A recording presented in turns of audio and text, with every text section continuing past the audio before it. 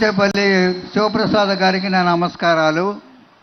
మాది దర్శి నా పేరు వెంకటపతి.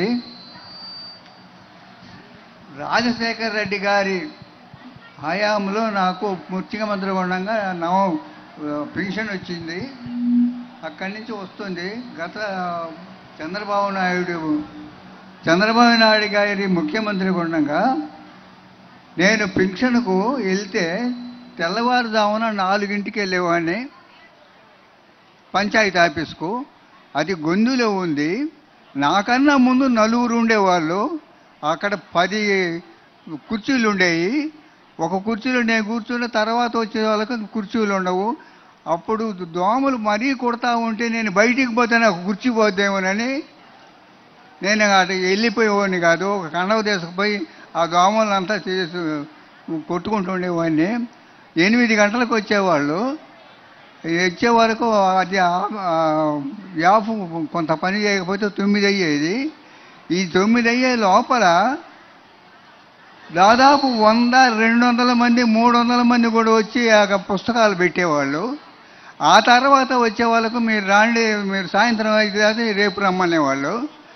అట్లా ఏడు రోజుల దాకా పింఛన్ ఇస్తుండేవాళ్ళు.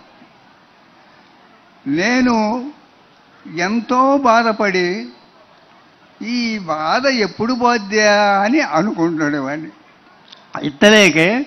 జగన్మోహన్ రెడ్డి గారి ప్రభుత్వం వచ్చింది. నేను టీవీ చూసుకుంటూ కూర్చుంటుండేవాడిని సాక్షి టీవీ. జగన్మోహన్ రెడ్డి గారు అంతకు ముందు రో- అన్నీ వస్తూ ఉంటాయి. ముందు రోజు. అప్పుడు వాలంటీర్లు శ్రీనివాసరెడ్డి ఉన్నాడు. తాత రమ్మనేవాడు నేను వచ్చిన తర్వాత ఏలి ముద్ర వేసుకొని నాకు పింఛన్ ఇచ్చిపోయేవాడు. అక్కడికి ఇక్కడికి తేడా చూస్తే ఓ ఎన్న యోజనాల తేడా కనపడేది నాకు. ఈ జగన్మోహన్ రెడ్డి గారు చేసే పథకాలు ఒకప్పుడు నెహ్రూ గారి ప్రభుత్వంలో మేధావులు ఉండేవాళ్ళు ఇద్దరు నలుగురు. భూషేపల్లి భూపేశ్ గుప్తా డాంగే చంద్రరాజరావు వీళ్ళు వీళ్ళు ప్రతిపక్షంలో ఏం అడిగేవాళ్ళంటే మాకు పది సంక్షేమ పథకాలు అడిగేవాళ్ళు పది పన్నెండు అడిగేవాళ్ళు. ఆయన ఒకటి రెండు నెహ్రూ గారు చెప్పేవాడు చేసేవాడు. ఈ జగన్మోహన్ రెడ్డి గారికి సొంతంగా వంద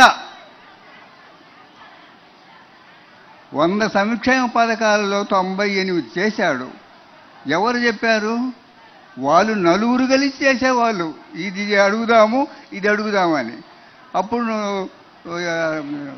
జగన్మోహన్ రెడ్డి గారు సొంతంగా ఆ బంగారపు మెదడులో నుంచి వచ్చిన మేధావి. బంగారపు మెదరే ఆ మెదడులో నుంచి వచ్చిన ఆలోచన.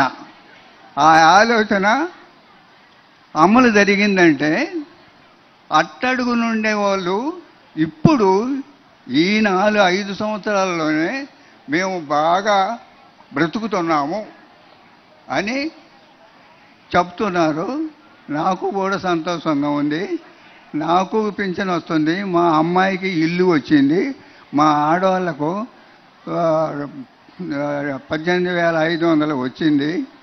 ఇటువంటి మేధావి గారు మాకు ఇప్పుడు ముఖ్యమంత్రిగా ఉండటం మా అదృష్టం. కానీ రావణాసురుడు హిరణ్యకశిపుడు ఇద్దరు కలిసి మా తాతలను చంపేశారు. వీళ్ళిద్దరికీ ఈ ప్రజా కోర్టు రేపు మే పదమూడున అమలు జరుపు- శిక్ష వేసి మే నాలుగున శిక్ష అమలు జరుపుద్ది. ఖచ్చితంగా అమలు జరగాల్సిందే.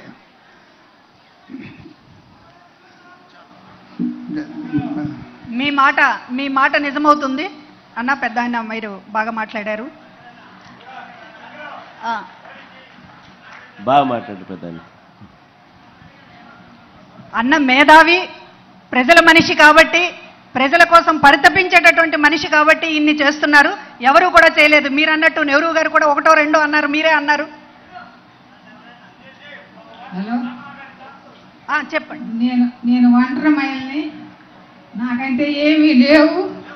ఒక ఇల్లు లేదు ఒక గ్యాస్ పొయ్యి లేదు ఒక వాకిల్ లేదు.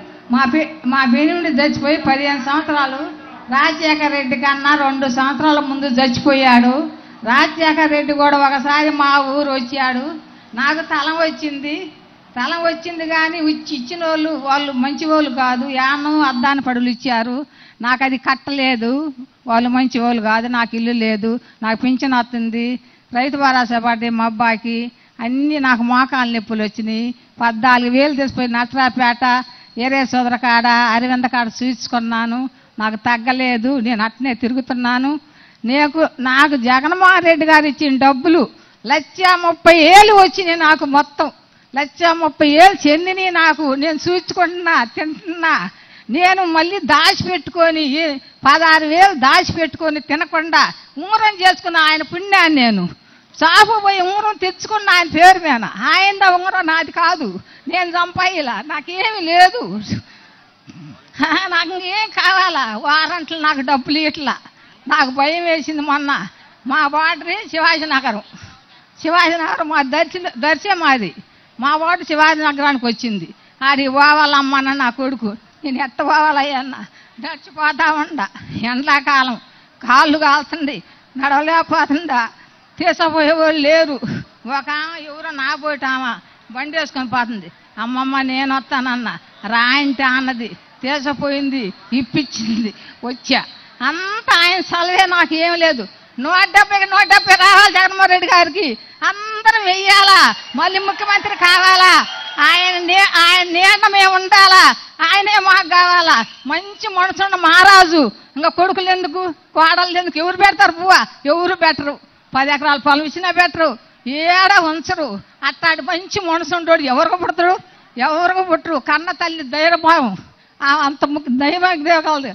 ఇంకా చాలు. ఇంకంతకన్నా సంతోషం ఏం కాదు. ఎన్ని జలములు ఉండా నువ్వే రావాలి. ఎవరు వద్దు మాకు. నువ్వు ఉండపనగా మాకు ఎవరు ఎందుకు? ఏం చేయటానికి? ఏం వద్దు. ఏం వద్దయ్యా? నువ్వే కావాలా? ఇచ్చారు కానీ ఇల్లు. తల మంచి చోట ఇవ్వాల? నాకు గట్ల.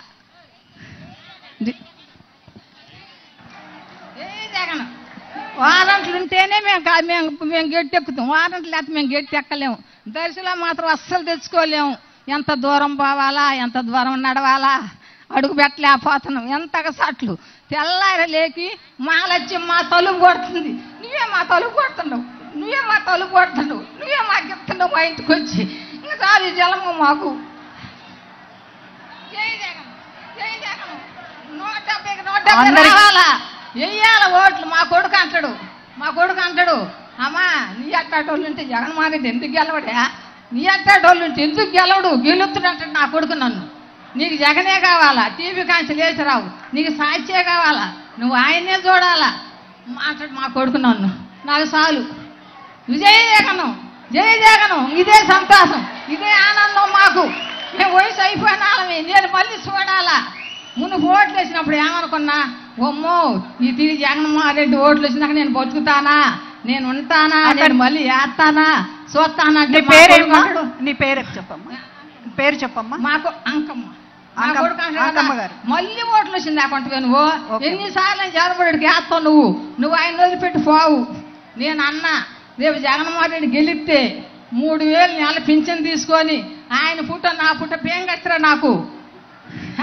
నీ ఫోటోలు మా ఇంటో ఎవరు వచ్చి అతికిచ్చినా ఎవరు ఇచ్చినా మా పోదారా మా ఇంటి ఎన్నుండి జనవరి పట్టు తారీఖు నాటి కా కాలం ఇచ్చారు.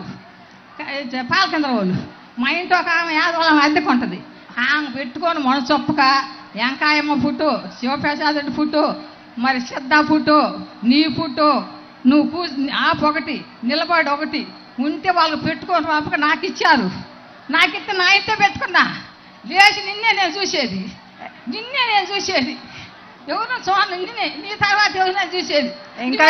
కొడుకువి. నాకు చాలు.